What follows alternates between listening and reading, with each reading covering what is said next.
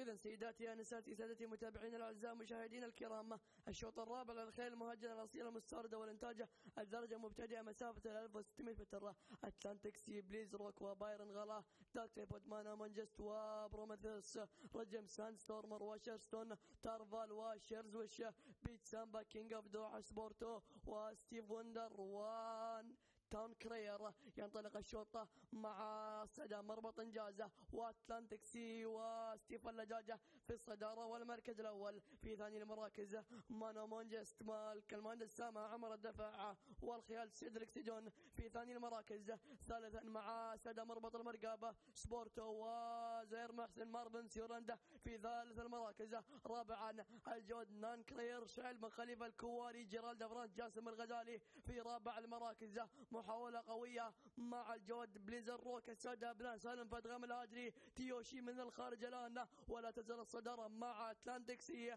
السادة مربط انجاز جاسم الغزالي. ستيفن لاجل في الصدارة والمركز الأول. منافسة قوية مع الجود أومن جستا وسامع عمر الدفع. إذا الخط المستقيم باتجاه خط النهاية مانو منجس مالك سامع عمر الدفع. سيدريك سيجون الآن ومحاولة من اتلانتكسي اتلانتكسي الآن ومربط انجازه ستيفن لاجل الان ومانو منجستا مانو منجس الان مانو منجس ودارك ليبرد دارك ليبرد الان ومحاولة مع الجواد شارلز وش شارلز وش الان وماركو مونتريسو ألف ألف مبروك للسيد عبد الهادي منع الشهواني والم...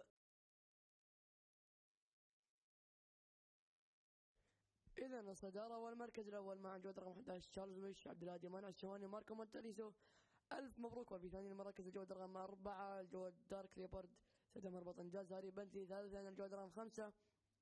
منو منجس من مجلس سامع عمر الدفع. رابعا الجواد رقم عشرة الجواد تربل أحمد حسن المركزي جهني واليوم لي. خامسا الجواد رقم ستة بروثيميوس سمو الشيخ محمد بن خليفة. الثاني ألف مبروك.